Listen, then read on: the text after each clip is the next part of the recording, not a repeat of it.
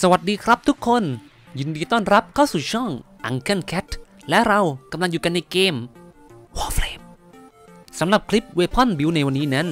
ลุงแมวก็จะมาทำการรีวิวข้อมูล พร้อมทั้งแนะนำแนวทางในการจัดมอดสไตล์ลุงแมว ของอาวุธในซีรีส์ Prisma ชิ้นล่าสุด ที่บาโลคิเทียหรือว่าลุงเกลือของเรานั้น ได้มีการนำออกมาวางขายซ้ำอีกครั้งในรอบที่ผ่านมา และอาวุธชิ้นดังกล่าวนั้น นั่นก็คือ Prisma g l a g a t a โดยจะมีรายละเอียดเป็นยังไงบ้างนั้น เดี๋ยวเราไปรับชมข้อมูลพร้อมๆกันได้เลยครับ Prisma g l a g a t a เป็นอาวุธปืนหลักประเภทปืนกล ที่มีค่าความเสียหายทางกายภาพหลักเป็น Impact ตามมาด้วย Puncher และ Slash มีความแม่นยำอยู่ที่ 28.6 หน่วย อัตราความไวในการยิงต่อเนื่อง 21.67 นัดต่อวินาที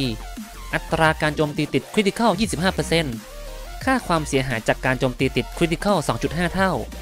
อัตราการสร้างสถานะผิดปกติ 20%ความจุกระสุน 120 นัดต่อ 1 magazine อัตราความไวในการ reload กระสุน 2 วินาที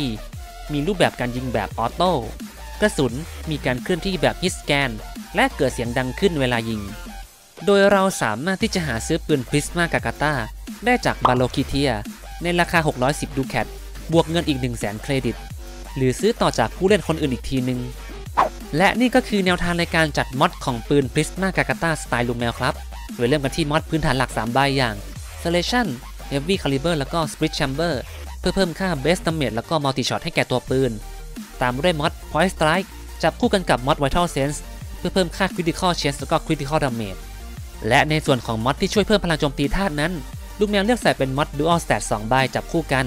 โดยจะมีการจัดเรียงธาตุผสมเอาไว้ อยู่ด้วยกันทั้งหมด 2 รูปแบบ เพื่อใช้จัดการกับศัตรูที่ต่างประเภทกันออกไป ซึ่งได้แก่ รูปแบบแรก p u r e Corrosive จะเอาไว้ใช้จัดการกับศัตรูเผ่ากรีนเนียนแล้วก็ Infested เป็นหลัก ซึ่งก็จะมีการจัดเรียงมอดตามภาพที่เห็นในคลิปเลยครับ ส่วนอีกรูปแบบหนึ่งนั่นก็คือ Pure Gas จะเอาไว้ใช้จัดการกับศัตรูเผ่า Corpus เป็นหลัก โดยจะมีการจัดเรียงมอดตามภาพที่เห็นอยู่ในคลิปเช่นกันครับ และสำหรับมอดใบสุดท้ายนั้นลูกแมวเลือกใส่เป็นมอด Argon Scope ซึ่งจะทำให้เมื่อเวลาที่เราโจมตีโดนหัวของศัตรูแล้วเนี่ย เราจะได้รับบัฟที่ช่วยเพิ่มค่า Critical Chance ถึง135%ให้แก่ตัวปืนเมื่อทำการเล็งยิง มาเป็นระยะเวลาทั้งสิ้น 9 วินาที ซึ่งก็จะช่วยทำให้ Prisma g a g a t a ของเรานั้น มีโอกาสโจมตีศัตรูติด Critical สูงถึง 96.25%กันเลยทีเดียวนะครับ ทีนี้เราก็จะมาลองใช้ปืน Prisma g a g a t a ที่บิวแบบดวงแมว ทดสอบโจมตีใส่ศัตรูทั้ง 3 เผ่า ที่เลเวล100ดูกันบ้างนะครับว่า ผลจะออกมาเป็นยังไงบ้าง โดยเริ่มจากเผ่ากรีนเนีย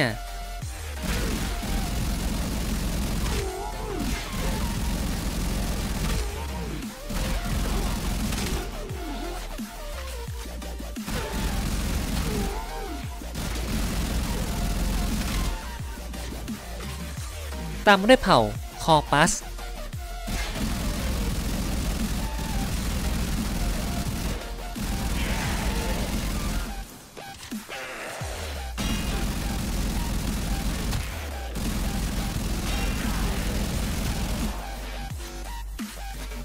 และเผ่า Infested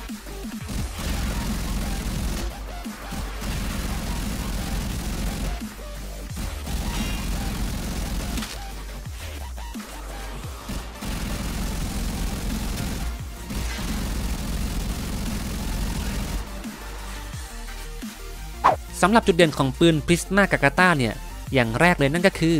มันมีค่า Critical Chance แล้วก็ Critical Damage อยู่ในระดับที่สูงมากๆ เลยทำให้เวลาที่เราโจมตีใส่ศัตรูนั้น เราจึงได้เห็นตัวเลข Critical Damage พวยพุ่งขึ้นมาเป็นน้ำพุเลยด้านเองนะครับ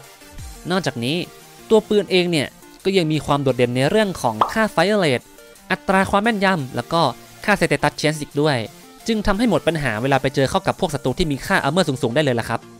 ส่วนข้อเสียของปืนกระบอกนี้เนี่ย อย่างแรกเลยก็คงจะเป็นในเรื่องของค่าพลังโจมตีพื้นฐานที่เรียกได้ว่าต่ำมาก ๆ เลยทีเดียว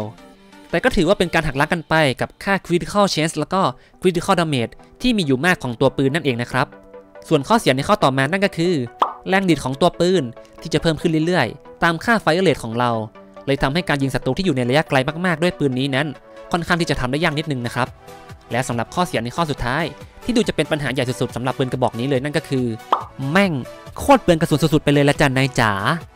ดังนั้นแล้วใครก็ตามที่คิดจะใช้ปืนกระบอกนี้เป็นปืนหลักเนี่ยก็อย่าลืมพกพาเอา Sentinel Carrier ติดตัวไปด้วยก็แล้วกันนะครับ เดี๋ยวยิงกันไปเพลินๆแล้วกระสุนหมด อันนี้ลุงแมวไม่รู้ด้วยเด้อ